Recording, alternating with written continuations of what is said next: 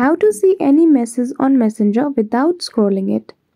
In this video, I will show you how can you easily find any message on Messenger conversation without scrolling all the way down. So without any delay, let's get into it.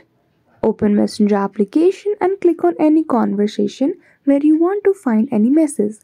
Now click on the chat details and below you will see the option of search in conversation. Now if you even remember any letter of the message, type it.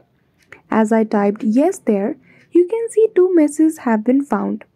So whichever is the message, click on it and you will direct it to that part of the conversation. And that's all. That is how easily you can find messages in any conversation on Messenger application. So I hope you found this video helpful. If you did, don't forget to give it a thumbs up and subscribe to our channel for such tutorial. Thank you for watching till the end.